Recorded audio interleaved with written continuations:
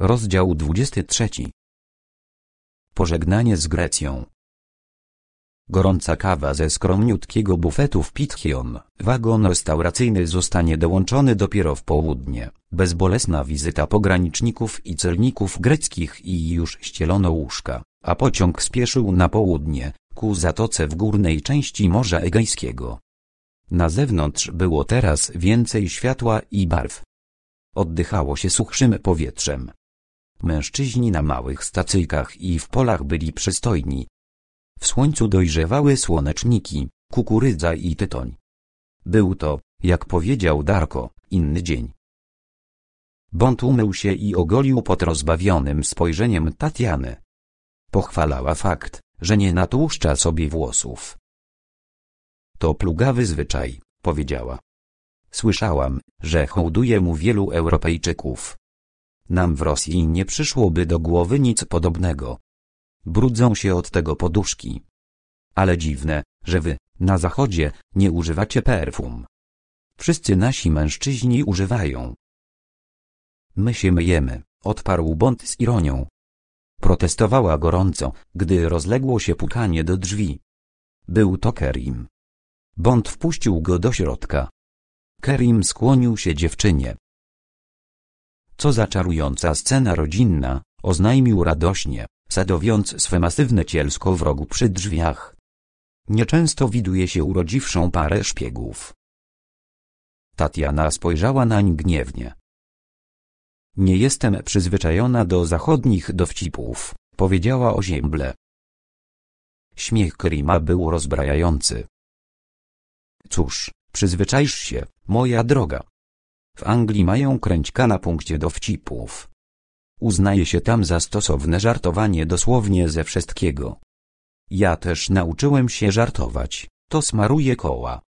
Obśmiałem się dzisiejszego ranka jak norka. Ci nieszczęśnicy Fuzunkopru. Jakże chciałbym tam być, kiedy policja zatelefonuje do konsulatu niemieckiego w Istambule. To właśnie najgorsze w fałszowaniu paszportów. Nie trudno je wyprodukować, lecz prawie nie sposób sfałszować również świadectwa urodzin, dokumenty krajów, które jakoby je wystawiły. Obawiam się, że kariery dwóch pani towarzyszy dobiegły smutnego kresu. Pani Somerset. Jak to zrobiłeś? Bond wiązał krawat. Pieniądze i wpływy. 500 dolarów dla konduktora. Trochę pochukiwania przed policją. Szczęście, że nasz przyjaciel spróbował łapówki. Szkoda, że ten cwany bęc z sąsiedniego przedziału, ukazał gestem ścianę, nie dał się w to wplątać. Nie mogłem dwukrotnie odstawić tego numeru z paszportami. Załatwimy go jakoś inaczej. Pryszczaty był łatwy. Nie mówił po niemiecku, a jazda bez biletu to poważna sprawa.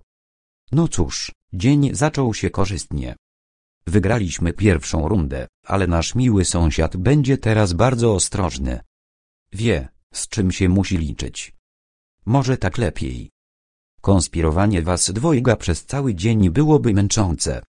Teraz możemy się poruszać, a nawet zjeść wspólnie lunch, jeżeli weźmiecie ze sobą klejnoty rodzinne. Musimy uważać, czy nasz przyjaciel nie będzie dzwonił z którejś ze stacji. Wątpię jednak, czy się upora z grecką telefonią. Prawdopodobnie zaczeka do Jugosławii. Ale tam dysponuje już organizacją. Możemy dostać posiłki, jeśli okażą się potrzebne.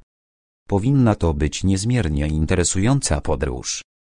W Orient Expressie nigdy nie brakuje emocji. Wstał i otworzył drzwi, ani romantyki. Posłał uśmiech w głąb przedziału. Odezwę się w porze lunchu. Jedzenie greckie jest jeszcze gorsze niż tureckie, ale nawet mój żołądek służy królowej. Bond wstał i zamknął drzwi. Tatiana prychnęła.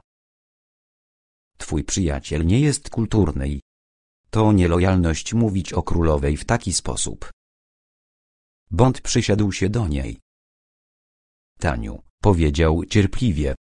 To cudowny człowiek. I dobry przyjaciel. Jeśli o mnie chodzi, może mówić, co sobie chce. Zazdrości mi. Chciałby mieć taką dziewczynę jak ty. Więc cię drażni.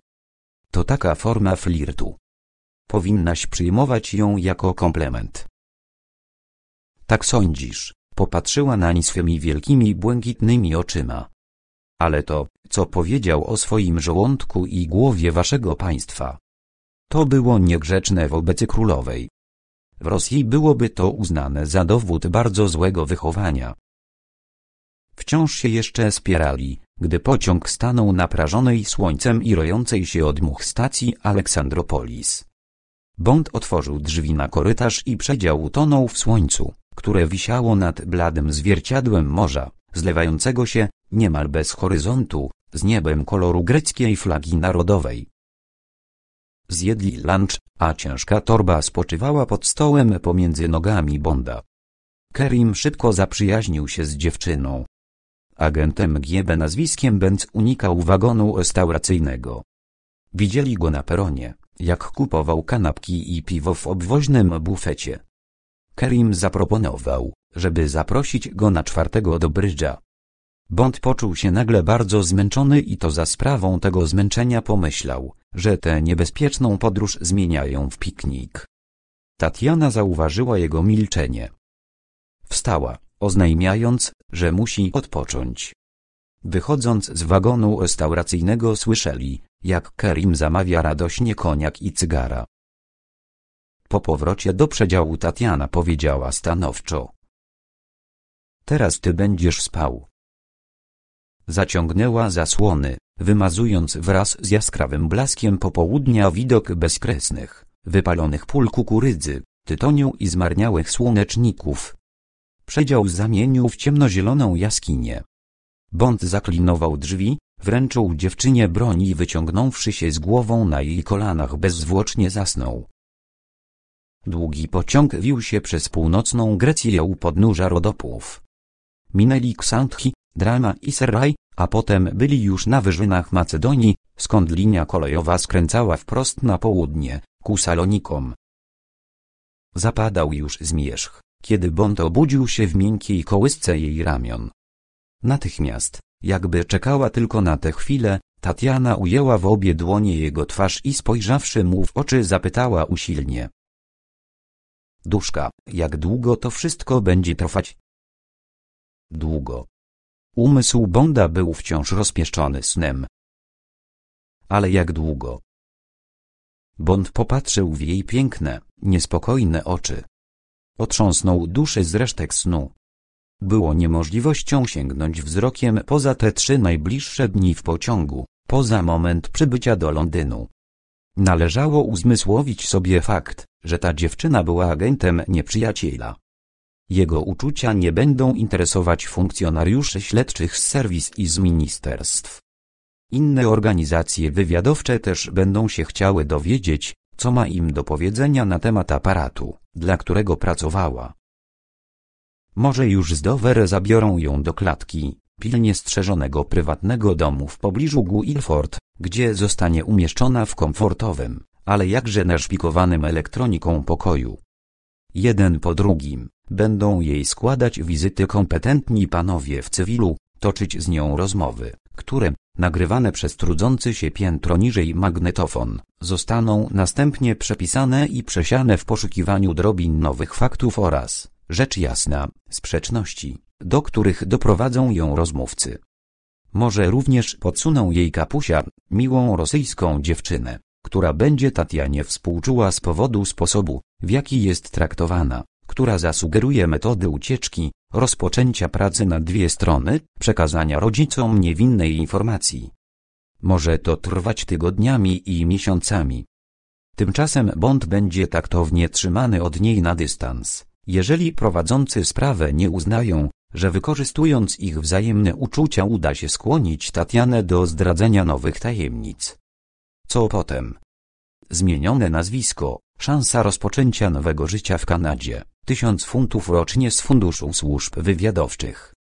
A kiedy wywikła się już z tego wszystkiego, gdzie będzie on? Może na drugim końcu świata. Zresztą nawet gdyby był wówczas w Londynie, ile współczucia, jakie dla niego żywiła, przetrwa obróbkę w maszynie śledczej? Jak bardzo po tych wszystkich przejściach będzie nienawidzić Anglików lub nimi gardzić. A skoro o tym mowa, ile żaru będzie wtedy miał w sobie jego dzisiejszy ogień? Duszka, powtórzyła Tatiana. Jak długo? Tak długo, jak to będzie możliwe. Zależy od nas. Wielu ludzi wejdzie pomiędzy nas. Zostaniemy rozłączeni. Nie będzie zawsze tak jak teraz, w tym małym pokoiku. Za kilka dni będziemy musieli wyjść na świat i to nam nie przyjdzie łatwo. Nie miałoby sensu mówienie ci czegoś innego. Twarz Tatiany pojaśniała. Uśmiechnęła się do Bonda. Masz słuszność. Nie będę zadawać więcej głupich pytań. Ale nie powinniśmy dłużej marnować czasu. Uniosła jego głowę. Wstała i położyła się obok niego. Godzinę później, kiedy Bond stał na korytarzu, u jego boku znalazł się nagle Darko Kerim. Uważnie zbadał twarz Bonda i powiedział przewrotnie. Nie powinieneś tak długo sypiać. Przegapiłeś historyczne pejzaże północnej Grecji. No i czas już na premier Seruice. Potrafisz tylko myśleć o jedzeniu, odparł Bond. Skinięciem głowy ukazał drzwi sąsiedniego przedziału. Jak tam nasz przyjaciel? Ani drgnął. Konduktor miał go na oku. Ten facet skończy jako najbogatszy konduktor w spółce wagonów sypialnych. 500 dolarów za papiery Goldfarba, a teraz po stówce ryczałtu dziennie. Kerim zachichotał. Powiedziałem, że może nawet dostanie medal za zasługi wobec Turcji. Jest przekonany, że ścigamy gang przemytniczy. Ten pociąg to główny środek przerzutu opium do Paryża. Nie jest wcale zdziwiony, a tylko mile zaskoczony wysokością honorariów. No a ty, dowiedziałeś się czegoś więcej od tej swojej rosyjskiej księżniczki? Wciąż mam obawy. Jest za spokojnie. Ci dwaj, którzy zostali, mogli sobie, tak jak mówi dziewczyna, zupełnie niewinnie jechać do Niemiec. Benz, być może, nie wyściubia nosa, bo się nas boi. Wszystko idzie jak po maśle, a jednak, a jednak. Kerim pokręcił głową. Ci Rosjanie to fantastyczni szachiści. Kiedy chcą przeprowadzić operację, czynią to błyskotliwie. Rozgrywka jest drobiazgowo zaplanowana, ruchy przeciwnika wzięte pod uwagę, przewidziane i skontrowane.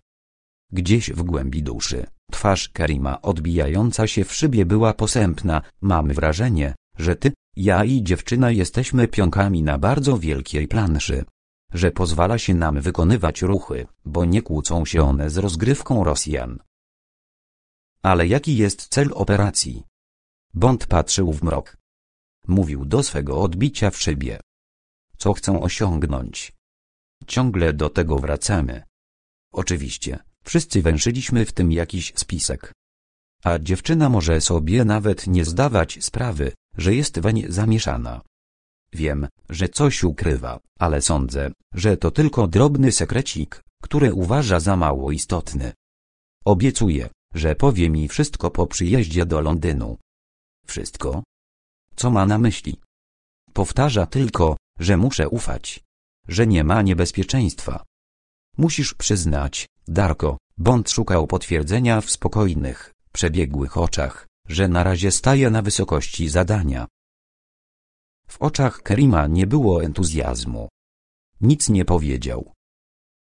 Bond wzruszył ramionami.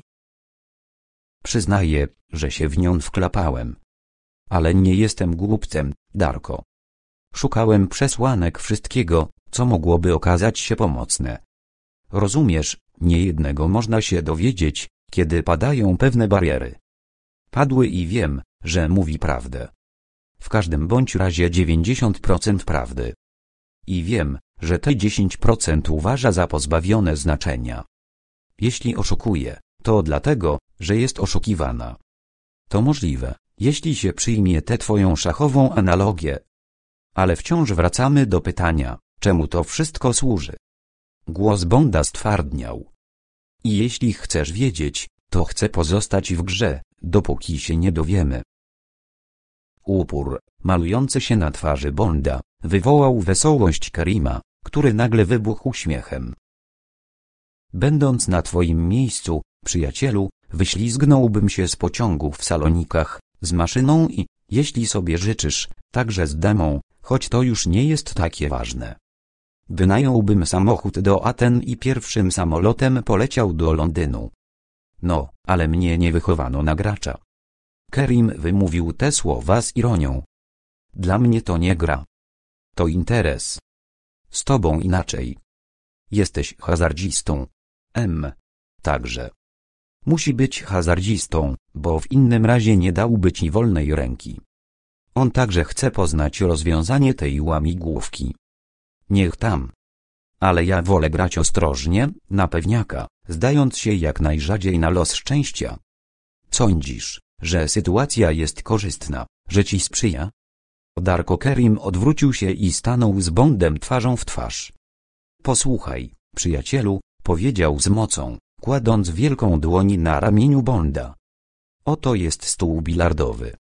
Normalny, płaski, zielony stół do bilardu. Uderzyłeś swoją białą kulę, która cicho i gładko toczy się ku czerwonej. Kieszeń jest tuż obok. W sposób fatalny i nieunikniony trafisz czerwoną, która wpadnie do kieszeni. Takie jest prawo stołu do bilarda, prawo sali bilardowej. Lecz gdzieś poza orbitą tych zdarzeń pilot odrzutowca stracił przytomność i jego samolot pikuje wprost na tę salę bilardową. Albo ma wybuchnąć rurociąg gazowy. Albo zaraz uderzy piorun. Budynek wali się i na ciebie, i na stół bilardowy. Co się zatem stało z tą białą kulą, która nie mogła chybić czerwonej, i z czerwoną, która nie mogła nie wpaść do kieszeni? Biała kula nie mogła chybić wedle praw stołu bilardowego. Lecz prawa stołu bilardowego nie są prawami jedynymi, tak samo jak w toczonej teraz grze nie mają wyłączności prawa rządzące drogą, jaką i ty, i pociąg pokonujecie ku swym przeznaczeniom. Kerry urwał.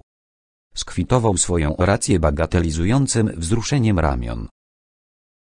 Są to sprawy, mój przyjacielu, dobrze ci znane, powiedział z lekką nutą przeprosin. A ja od prawienia tych banałów poczułem pragnienie. Popędź dziewczynę i chodźmy na kolację. Tylko błagam, wystrzegaj się niespodzianek. Położył dłoni na wysokości środkowego guzika marynarki. Podkreślam wagę tej prośby kładąc rękę nie na sercu, bo to byłoby za poważne, lecz na żołądku, który ma dla mnie wielkie znaczenie. Obu nas czekają niespodzianki. Cygan mówił, byśmy na siebie uważali. Teraz ja powtarzam to samo. Możemy toczyć rozgrywkę na stole bilardowym, ale nie zapominajmy o czujności wobec reszty świata. Mój nos, poklepał go, tak mi mówi. Żołądek Kerima zaburczał natarczywie, jak zbagatelizowany aparat telefoniczny z kimś rozzłoszczonym i upartym po drugiej stronie przewodu. No właśnie, powiedział Kerim z troską. A nie mówiłem? Musimy koniecznie coś zjeść. Skończyli kolację w chwili, gdy pociąg dotarł do obrzydliwie nowoczesnej stacji węzłowej w Thessalonikach. Ruszyli z powrotem korytarzem, a zanim rozstali się na noc, Kerim ostrzegł dźwigającego małą, ciężką torbę Bonda. Niedługo znowu będziemy niepokojeni. Granica o pierwszej. Grecy to małe piwo, ale ci Jugosłowianie lubią budzić wszystkich, którzy podróżują w puchach. Poślij po mnie, gdyby ci dokuczyli. Nawet w ich kraju znam pewne nazwiska, o których można napomknąć. Jestem w drugim przedziale następnego wagonu. Mam go tylko dla siebie. Jutro przeniosę się na łóżko naszego przyjaciela Goldfarba w dwunastce. Na razie zupełnie miło parkuje mi się w pierwszej klasie. Bąd podrzemywał czujnie, kiedy pociąg pracowicie piął się w górę Doliny Jardar ku wrotom Jugosławii. Tatiana znowu spała z głową na jego kolanach. Rozmyślał o tym, co mu powiedział Darko. Zastanawiał się, czy kiedy już bezpiecznie przejadą Belgrad, nie powinien odesłać wielkiego mężczyzny do Istambułu. Nie było fair ciągnąć go przez całą Europę i zmuszać do udziału w awanturze, która rozgrywała się poza jego terytorium i dla której nie miał specjalnego zrozumienia. Darko najwyraźniej podejrzewał, że Bond zadłużył się w dziewczynie i stracił zdolność trzeźwej oceny operacji. Cóż, było w tym ziarnko prawdy. Byłoby z pewnością bezpieczniej wysiąść z pociągu i podążyć do kraju inną trasą. Jednak, przyznawał przed sobą otwarcie. Idea ucieczki przed tym spiskiem, jeśli w samej rzeczy chodziło tu o spisek, napawała go odrazą. Jeśli natomiast nie chodziło, myśl o poświęceniu trzech dni z Tatianą była mu równie przykra. No jem. Jemu pozostawił decyzję. Jak słusznie powiedział Darko, M. Także był ciekaw prześledzić rozgrywkę do końca. Przewrotnie pragnął się dowiedzieć, o co chodzi w tej całej łamigłówce. Bond odsunął od siebie problem. Podróż przebiegała dobrze. Po co panikować? Dziesięć minut po przybyciu na grecką stację graniczną i do menu rozległo się gorączkowe pukanie do drzwi. Rozbudziło dziewczynę. Bond wysunął się spod jej głowy. Przyłożył ucho do drzwi. Tak? Lecon ducteur, monsieur. Był wypadek. Pański przyjaciel, Kerim Bey. Chwileczkę, powiedział Bond gwałtownie. Wsunął beretę do kabury, włożył marynarkę i otworzył drzwi. Co się stało? W świetle korytarzowych lamp twarz konduktora była żółta. Proszę za mną. Pobiegł w stronę wagonu pierwszej klasy. Wokół drzwi drugiego przedziału skupili się funkcjonariusze. Patrzyli jak zaczarowani. Konduktor zrobił dla Bonda przejście. Bond dotarł do drzwi i zajrzał do środka. Włosy lekko zjeżyły mu się na głowie. Na kanapie po prawej stronie leżały dwa ciała, zastygłe w boju na śmierć i życie, jaki mógłby sobie wymyślić scenarzysta filmowy. Pod spodem był Kerim, z nogami ugiętymi w ostatniej próbie powstania. Z jego szyi, tuż obok żyły szyjnej, sterczała owinięta taśmą rękojeść sztyletu. Miał odrzuconą głowę, a puste, przekrwione oczy patrzyły w noc. Usta wykrzywiał grymas. Po brodzie spływała stróżka krwi. Częściowo na nim, przygwożdżone za szyję lewym ramieniem Kerima, spoczywało ciężkie ciało człowieka z MGB o nazwisku Benz. Bond dostrzegał koniec stalinowskiego wąsa i fragment poczerniałej twarzy. Na plecach mężczyzny niemal nonszalancko leżała prawa ręka Kerima. Kończyła się pięścią zaciśniętą na rękojeści noża, tkwiącego w środku wielkiej plamy na marynarce. Bond uległ swej wyobraźni. Było tak, jakby oglądał film. Uśpiony Darko, mężczyzna wślizgujący się bezszelestnie przez drzwi, dwa kroki w przód i błyskawiczny cios w szyję. Potem ostatni gwałtowny spazm konającego Kerima, który wyrzuca ramię, przyciąga mordercę do siebie i wbija nóż pod piąte żebro. Ten wspaniały człowiek, który nosił ze sobą słońce. Teraz zgasło. Nie żył. Bond odwrócił się brutalnie i zszedł z oczu mężczyzny, który dla niego zginął. Zaczął uważnie, beznamiętnie odpowiadać na pytania. Rozdział 24 Pożegnanie z niebezpieczeństwem O trzeciej po południu, z półgodzinnym opóźnieniem, Orient Express posapując wtoczył się niespiesznie do Belgradu. Miał tu być ośmiogodzinny postój w oczekiwaniu na skład idący przez żelazną kurtynę. Bond wyglądał przez okno na tłumy i oczekiwał pukania do drzwi zapowiadającego przybycie człowieka Kerima. Tatiana, otulona w swe sobolowe futro, siedziała skulona przy drzwiach, obserwując Bonda i zastanawiając się, czy do niej wróci. Widziała to wszystko przez okno, dwa wynoszone z pociągu długie kosze, błyskające flesze fotografów policyjnych, usiłującego przyspieszyć formalności, rozgestykulowanego kierownika pociągu, a wreszcie wchodzącą i wychodzącą z wagonu wysoką postać Jamesa Bonda, prostą, twardą i zimną jak rzeźnicki nóż. Potem Bond wrócił do przedziału i usiadł, wbijając w nią wzrok. Zadawał ostre brutalne pytania. Broniła się rozpaczliwie, podtrzymując z premedytacją swoją wersję, wiedziała bowiem, że jeśli powie mu wszystko, na przykład to, że w sprawę zaangażowany jest Smierz, utraci go z pewnością na zawsze. Siedziała teraz, ogarnięta strachem, strachem przed siecią, w którą się uwikłała, strachem przed tym, co mogą skrywać w sobie kłamstwa, jakie opowiedziano jej w Moskwie, a nade wszystko strachem przed możliwością utraty tego mężczyzny, który nagle stał się światłem jej życia. Zapukano do drzwi. Bond wstał i otworzył. Do przedziału wpadł jak pocisk kauczukowo-sprężysty, pogodny mężczyzna z błękitnymi oczami Karima i zmierzwioną miotłą jasnych włosów nad smagłą twarzą. Stefan Trempo, do usług, szeroki uśmiech ogarnął ich oboje. Nazywają mnie Tempo. Gdzie wódz? Proszę usiąść, powiedział Bond. Wiedziałem, pomyślał. To następny z synów Darka. Mężczyzna omiótł ich ostrym spojrzeniem. Ostrożnie usiadł pomiędzy nimi. Jego twarz zgasła, a świetliste oczy wpatrywały się w Bonda z okropnym natężeniem, w którym były ślady łęku i podejrzliwości. Jego prawa dłoń mimochodem wślizgnęła się do kieszeni marynarki. Kiedy Bond skończył, Stefan Trempo powstał. Nie zadawał żadnych pytań. Dziękuję, Sir, powiedział. Proszę za mną. Pojedziemy do mego mieszkania. Jest wiele do zrobienia. Wyszedł na korytarz i stanął plecami do przedziału, zapatrzony przed siebie. Kiedy pojawiła się dziewczyna, nie obejrzawszy się ruszył korytarzem.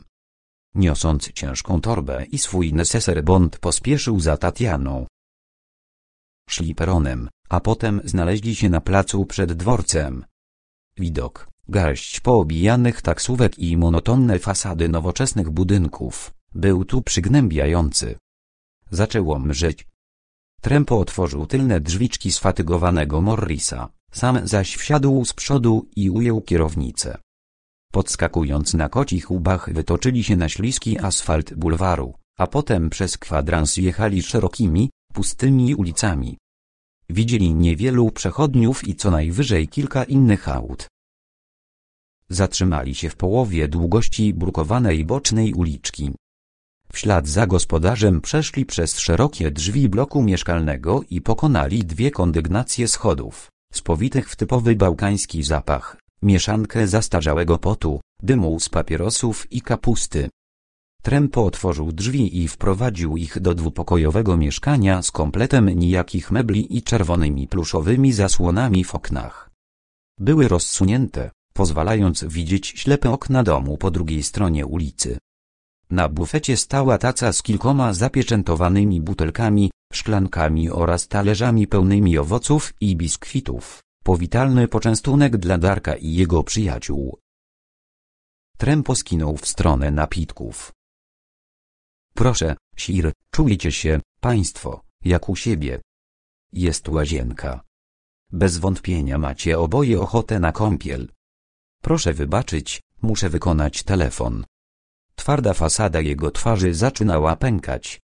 Przeszedł szybko do sypialni i zamknął za sobą drzwi. Nastąpiły dwie puste godziny, podczas których Bond siedział przy oknie, gapiąc się na ścianę po drugiej stronie ulicy. Od czasu do czasu wstawał, chodził od ściany do ściany, a potem wracał na krzesło. Tatiana przez pierwszą godzinę udawała, że przegląda magazyny. Potem nagle poszła do łazienki i Bond słyszał stłumiony odgłos wody lejącej się do wanny. Około szóstej z sypialni wyłonił się trępo. Oświadczył Bondowi, że wychodzi. W kuchni jest jedzenie. Wrócę o dziewiątej i odwiozę państwa na dworzec. Czujcie się, proszę, jak u siebie w domu. Wyszedł nie czekając na odpowiedź Bonda i cicho zamknął za sobą drzwi. Bond słyszał najpierw jego kroki na schodach, potem stuk drzwi wejściowych, a wreszcie rozrusznik Morrisa. Bond przeszedł do sypialni, usiadł na łóżku, podniósł słuchawkę i przez chwilę rozmawiał po niemiecku z centralą międzynarodową. Pół godziny później usłyszał spokojny głosem. Bond rozmawiał z nim tak, jak z dyrektorem firmy Universal Export rozmawiałby akwizytor. Oświadczył, że jego kolega poważnie się rozchorował. Czy są w związku z tym jakieś nowe instrukcje? Jest bardzo chory. Tak, Sir, bardzo. Co z konkurencją? Jechało ich z nami trzech, Sir. Jeden zaraził się tym samym. Dwóch poczuło się kiepsko jeszcze w Turcji. Wysiedli w Uzunkopru, na granicy. Zatem ta druga firma zwinęła żagle? Bond wyobrażał sobie oblicze M, trawiącego te informacje. Zastanawiał się, czy pod sufitem powoli krąży wentylator, czy M. Trzyma w dłoni fajkę, czy przy drugim aparacie słucha szef sztabu. Jakie masz pomysły? Czy wolałbyś wracać z żoną do kraju inną trasą? Wolałbym, żeby to pan postanowił, Sir. Żona czuje się dobrze. Próbki w doskonałym stanie. Nie widzę powodów do zmiany planu. Wciąż mam ochotę doprowadzić podróż do końca. Jeśli ją przerwę, ten rejon nadal pozostanie dziewiczy i nie dowiemy się, jakie przedstawia możliwości. Czy chciałbyś, żebym ci podesłał do pomocy któregoś z naszych pozostałych akwizytorów? To nie powinno być konieczne. Jak pan zresztą uważa, Sir? Jeszcze się zastanowię. Więc naprawdę chcesz doprowadzić do końca tę kampanię promocyjną? Bond wyobrażał sobie oczy M. Połyskujące tą samą perwersyjną ciekawością, tak samo wściekłą rządzą poznania, jaką odczuwał sam. Tak, Sir. Teraz, skoro jestem już w połowie, szkoda by było nie zaliczyć całej trasy. Zatem w porządku. Pomyślę o podesłaniu ci kogoś do pomocy. Na drugim końcu linii nastąpiła pauza. Masz na wątrobie coś jeszcze? Nie, Sir. No to do zobaczenia. Do widzenia, Sir. Bond odłożył słuchawkę. Siedział, gapił się na nią i nagle pożałował, że nie okazał większego entuzjazmu w sprawie proponowanych przez M. posiłków. Wstał z łóżka. No, ale niebawem zostawi wreszcie za sobą te cholerne Bałkany i będzie we Włoszech. Potem w Szwajcarii, we Francji, pośród przyjaznych ludzi, z dala od tych złodziejskich ziem. A dziewczyna, co z nią? Czy może ją oskarżać o śmierć Karima? Bond wrócił do pierwszego pokoju, stanął przy oknie i wyglądając przez szybę zastanawiał się, odtwarzał wszystko, każdą minę i każdy gest, jaki uczyniła od chwili, gdy owej nocy w Crystal Palace po raz pierwszy usłyszał jej głos. Nie, nie może zwalać na nią winę. Jeśli nawet była agentką, to agentką mimo woli. Tej roli, jeżeli była to rola, nie potrafiłaby zagrać w pełni przekonująco żadna na świecie dziewczyna w jej wieku. Poza tym podobała mu się, a ufał swoim instynktom. Wreszcie, czyż ze śmiercią Kerima ów spisek czy Bóg wie co nie stracił racji bytu? Dowie się pewnego dnia, o co w tej sprawie chodziło. W tej chwili był pewien jednego, dziewczyna nie uczestniczyła w niej świadomie. Podjąwszy postanowienie, Bond podszedł do drzwi łazienki i zapukał. Kiedy wyszła, chwycił ją w ramiona, przytulił i zaczął całować.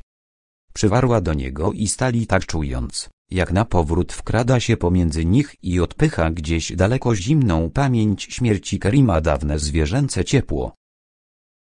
Tatiana wysunęła się z objęć Bonda i popatrzyła mu w oczy.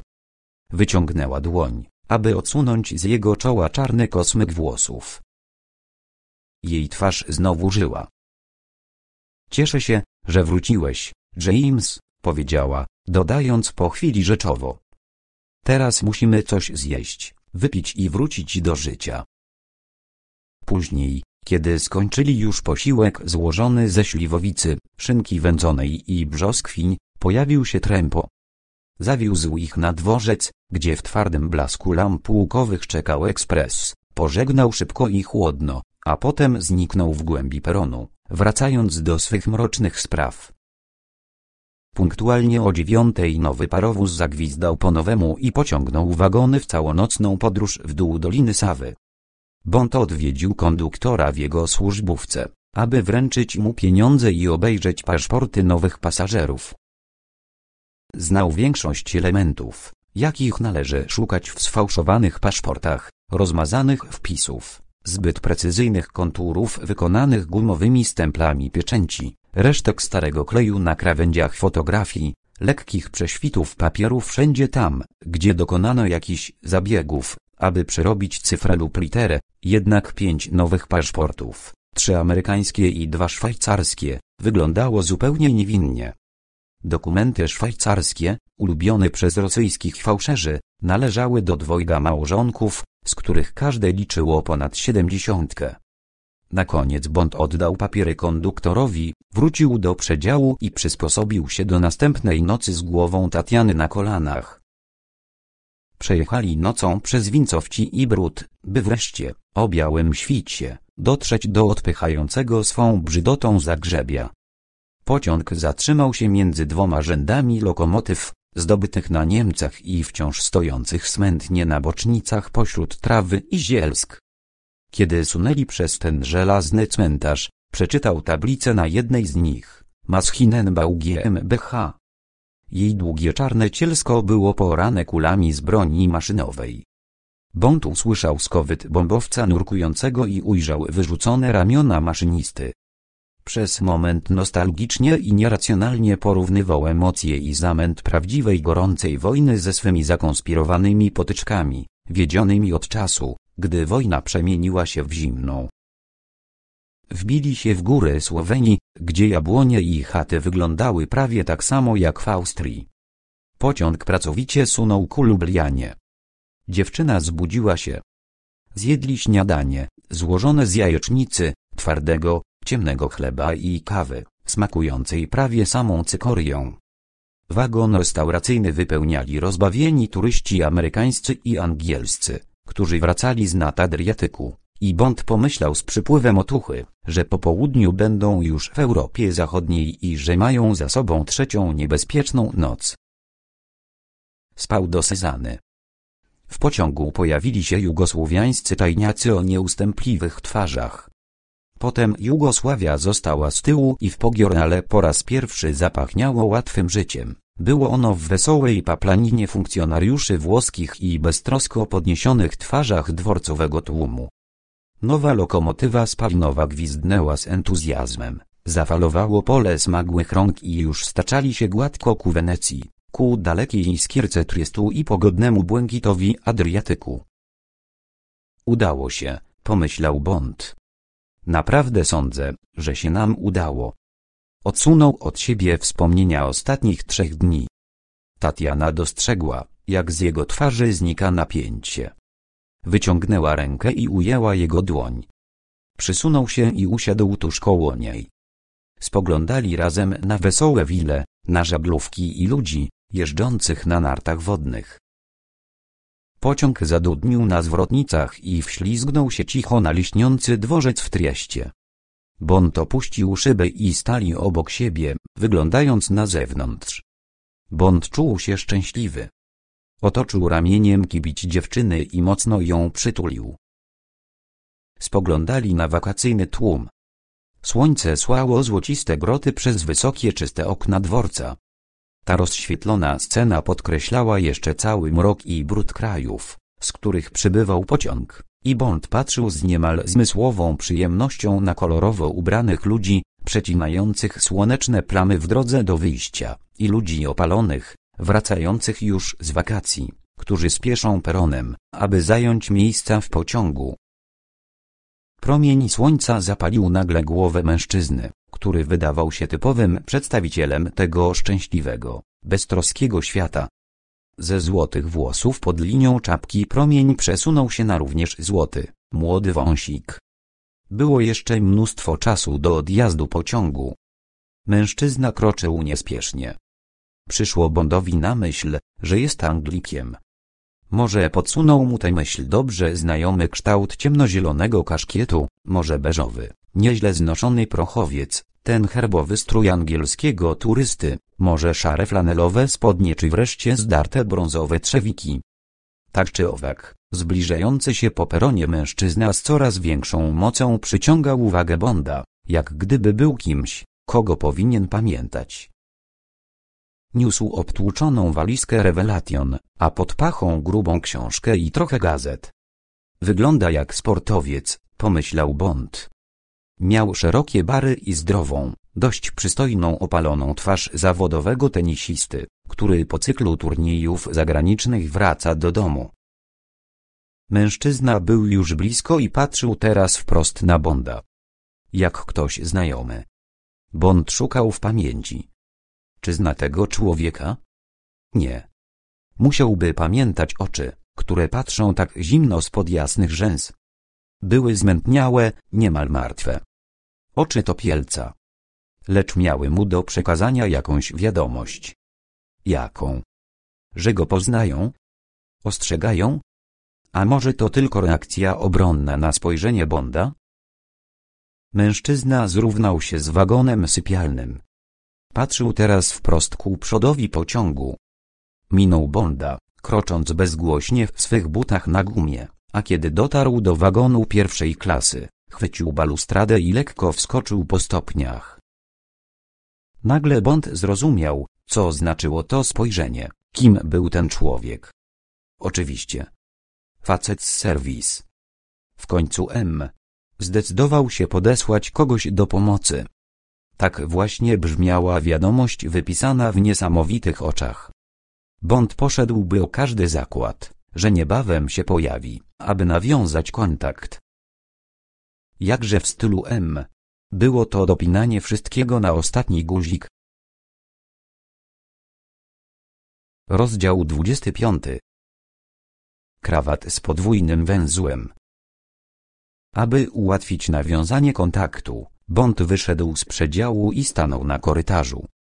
Przebiegł w pamięci szczegóły szyfru dnia, tych kilka niewinnych zdań, które zmieniane na pierwszego każdego miesiąca służą agentom angielskim jako prosty sygnał rozpoznawczy. Pociąg szarpnął i wypełzł powoli w blask słońca. Trzasnęły drzwi w końcu korytarza. Nie rozległy się kroki, lecz nagle szyba odbiła czerwono-złotą twarz. Przepraszam. Czy mógłbym pożyczyć zapałki? Używam zapalniczki.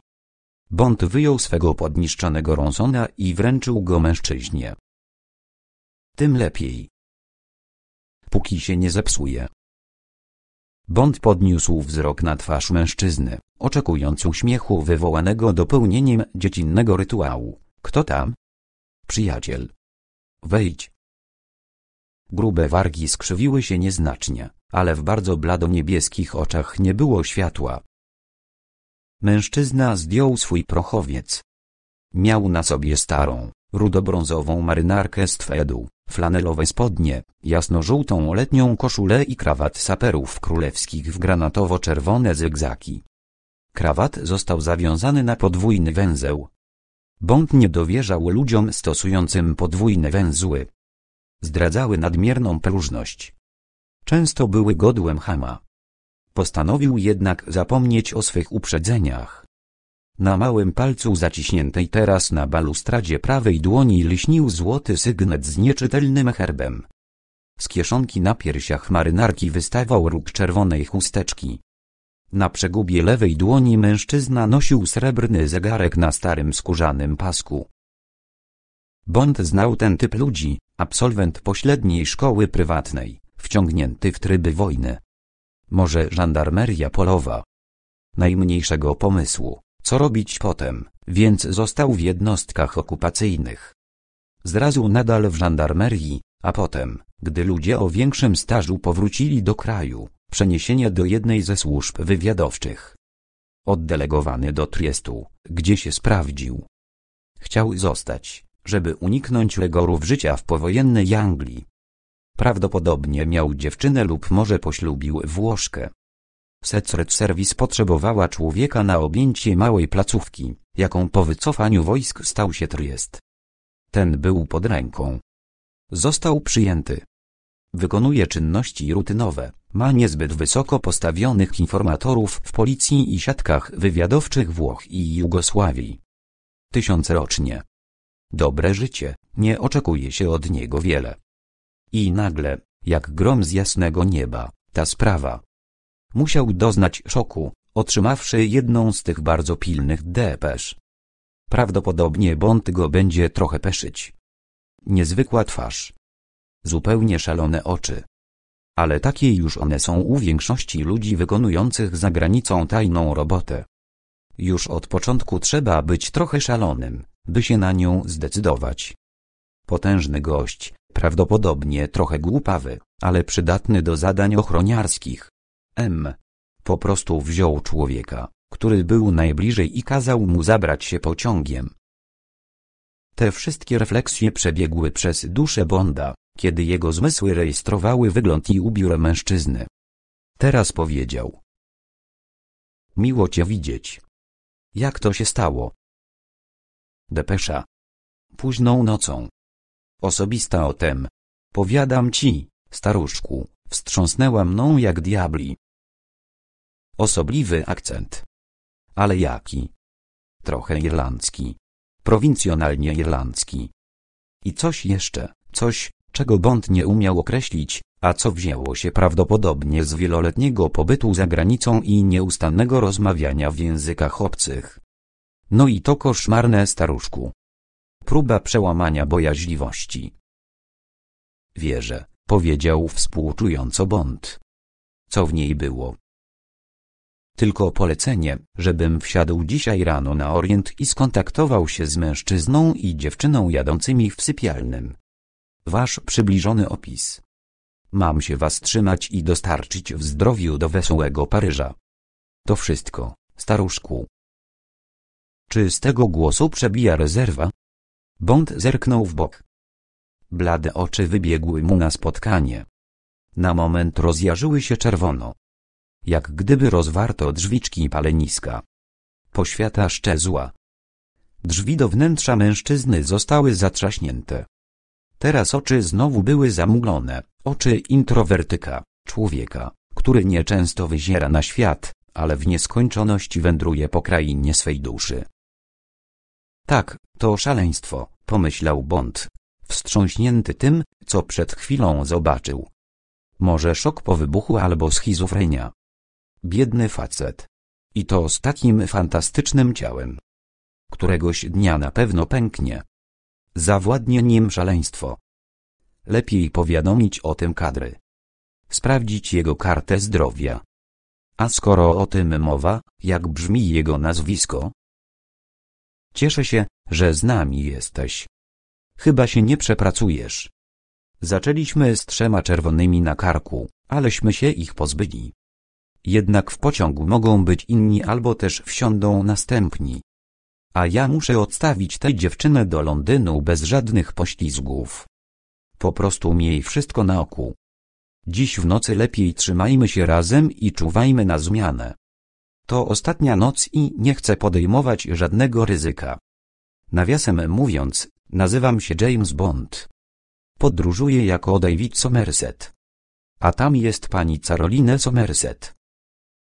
Mężczyzna zanurzył dłoń w wewnętrznej kieszeni marynarki i wyjął wysłużony portfel, który zdawał się zawierać mnóstwo pieniędzy. Odłowił wizytówkę i wręczył ją Bondowi. Informowała, kapitan Norman nasz, a w lewym dolnym rogu, automobil klub królewski. Wkładając wizytówkę do kieszeni, Bond przeciągnął po niej palcem. Była wytłaczana. Dzięki, powiedział. Cóż, nasz, chodźmy. Przedstawię cię pani Somerset. Nie ma powodu, dla którego nie moglibyśmy podróżować wspólnie. W większym czy mniejszym stopniu. Uśmiechnął się przyjaźnie. Znów ta natychmiast wygaszona czerwona poświata. Wargi pod krótkim złotym wąsem lekko się wykrzywiły. Z rozkoszą, staruszku, Bond odwrócił się ku drzwiom, delikatnie zapukał i wymówił swoje nazwisko. Kiedy drzwi otworzyły się, Bond zaprosił nasza do środka i zamknął je za sobą. Dziewczyna wyglądała na zaskoczoną. To kapitan nasz, Norman nasz. Ma polecenie opiekowania się nami. Jak się pan miewa? Dziewczyna z wahaniem wyciągnęła rękę. Nasz ledwie jej dotknął. Miał skupiony wzrok. Milczał. Tatiana zachichotała z zakłopotaniem. Nie usiądzie pan. E, dziękuję. Nasz usiadł sztywno na skraju kanapy. Wyglądał jak człowiek, który próbuje sobie przypomnieć, co się robi, nie mając nic do powiedzenia. Zapuścił dłoń do kieszeni marynarki i wydostał paczkę playersów. Może, e, papierosa? Otworzył paczkę zupełnie czystym paznokciem, obdarł z celofanu i wysunął papierosy. Dziewczyna poczęstowała się, a wówczas druga dłoń nasza mignęła zapalniczką ze służalczą szybkością sprzedawcy samochodów. Nasz podniósł wzrok. Bond stał oparty o drzwi i zastanawiał się, jak dopomóc temu niezdarnemu, zakłopotanemu mężczyźnie. Nasz wyciągał przed siebie papierosy i zapalniczkę, jakby proponował szklane paciorki wodzowi tubylców. No, a ty, staruszku? Dziękuję, powiedział Bond. Nie znosił tytoniu z Wirginii, ale gotów był na wszystko, byle tylko rozluźnić tego faceta.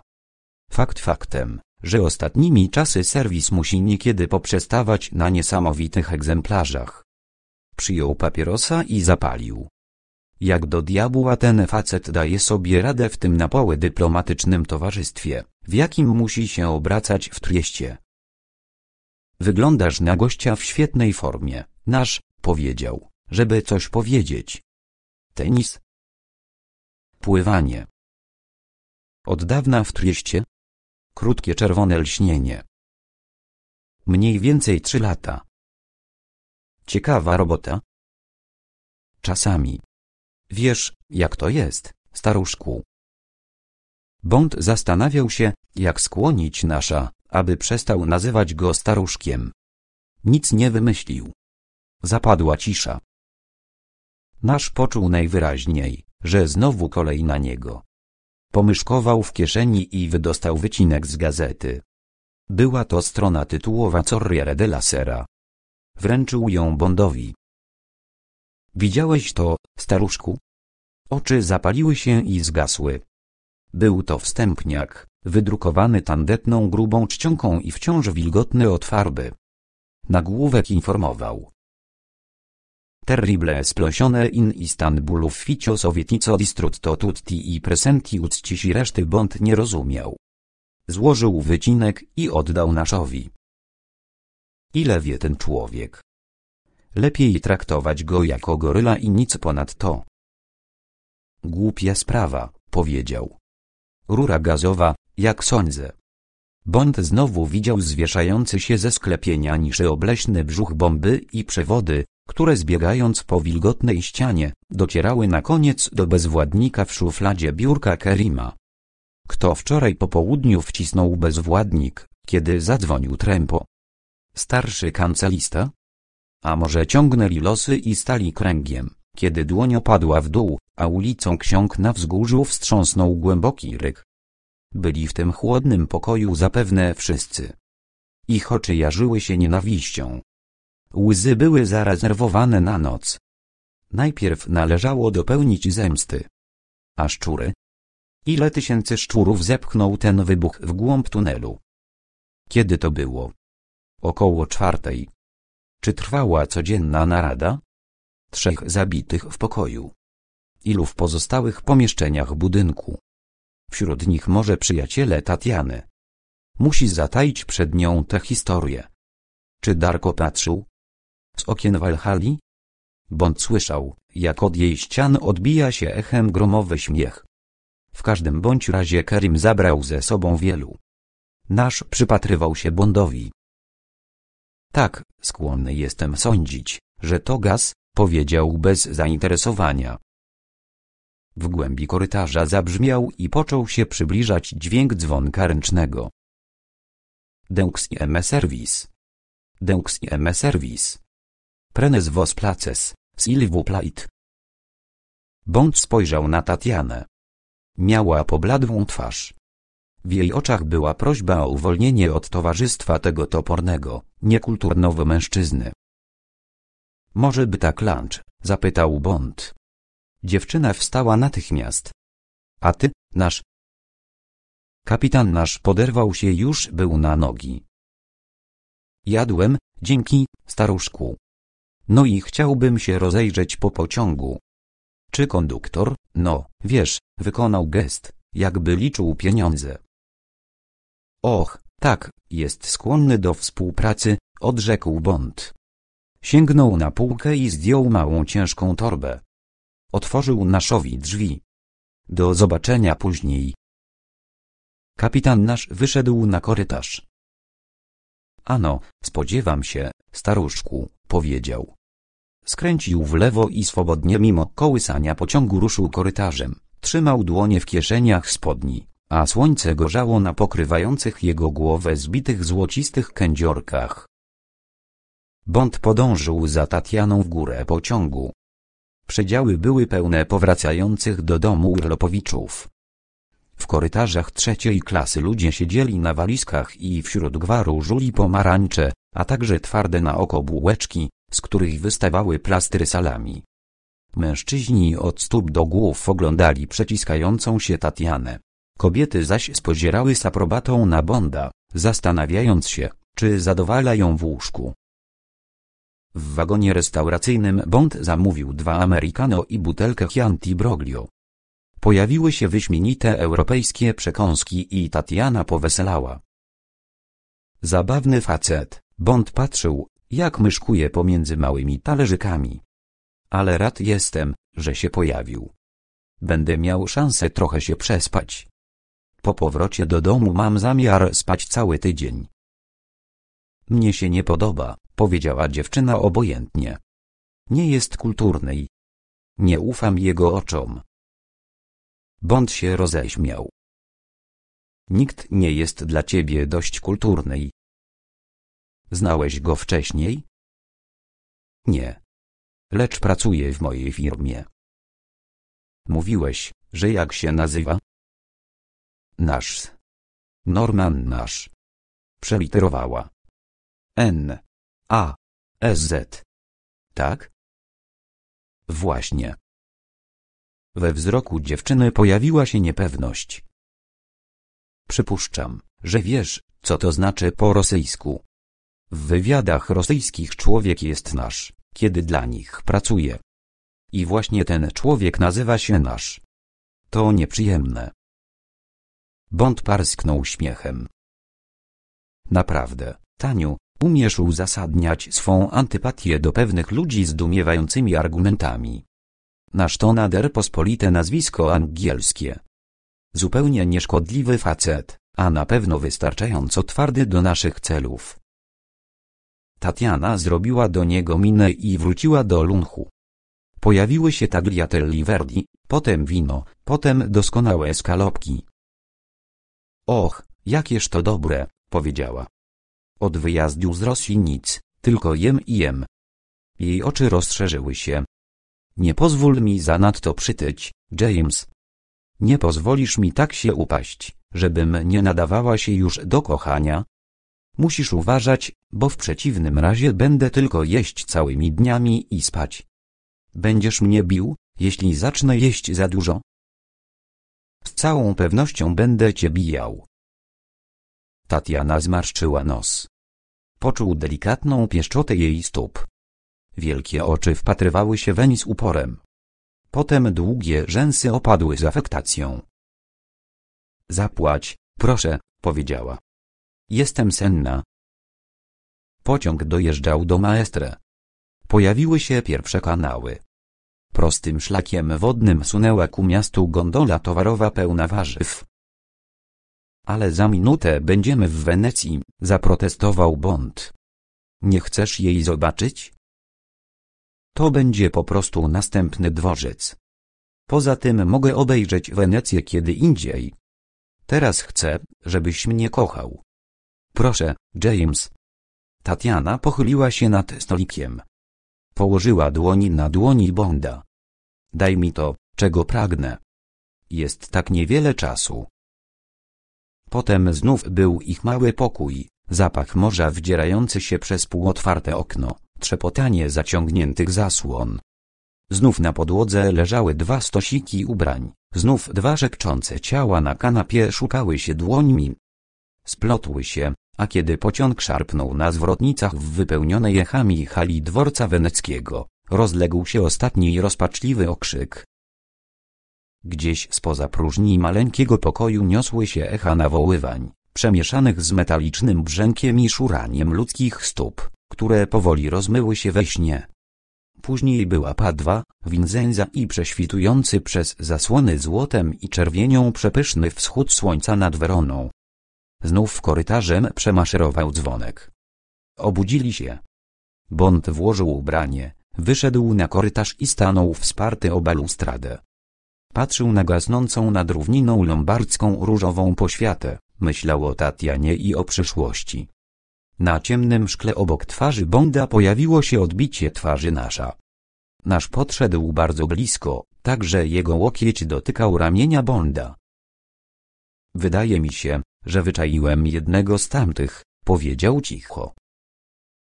Bond nie był zaskoczony. Przypuszczał, że jeśli coś ma się zdarzyć, to właśnie tej nocy. Kto to jest? Zapytał niemal bez zainteresowania. Nie wiem, jak się naprawdę nazywa, lecz przewinął się przez Triest raz czy dwa. Ma coś wspólnego z Albanią. Może tamtejszy rezydent. Teraz jest na paszporcie amerykańskim. Wilbur Frank. Podaje się za bankiera. Jest w dziewiątym, tuż obok ciebie. Nie sądzę, bym się co do niego mylił, staruszku. Bond zerknął w oczy, osadzone w dużej brązowej twarzy. Znów drzwi paleniska stały otworem. Czerwona poświata wylała się na zewnątrz i została wygaszona. Doskonale, że go przyuważyłeś. Może to być ciężka noc. Lepiej odtąd trzymaj się nas. Nie powinniśmy zostawiać dziewczyny samej. Tak właśnie myślałem, staruszku. Zjedli kolację. Był to cichy posiłek. Nasz siedział obok dziewczyny i nie spuszczał wzroku z talerza. Trzymał nóż jak pióro i często obcierał go o widelec. Jego ruchy były niezgrabne. W połowie kolacji sięgając po sól przewrócił Tatianie kieliszek Chianti. Przepraszał gęsto. Z żądania nowego kieliszka i napełnienia go winem uczynił wielkie widowisko. Podano kawę. Teraz niezgrabnie zachowała się Tatiana. Przewróciła swą filiżankę. Nagle bardzo pobladła i zaczęła szybko oddychać. Tatiano. Bąd uniósł się z krzesła, ale to kapitan nasz pierwszy porwał się na nogi i przejął inicjatywę. Dama zasłabła, powiedział krótko. Pozwól. Otoczył Tatianę ramieniem i postawił ją na nogi. Odprowadzę ją do przedziału. Ty lepiej pilnuj torby. No i masz rachunek.